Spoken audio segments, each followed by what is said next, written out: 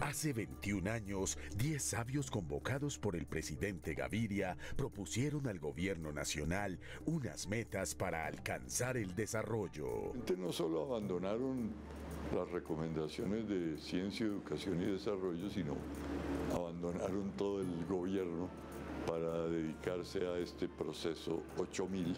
Evaluación y perspectivas de la misión de sabios. Hagamos memoria. Martes 17 de marzo, 10 de la noche, por Canal Capital, Televisión Más Humana.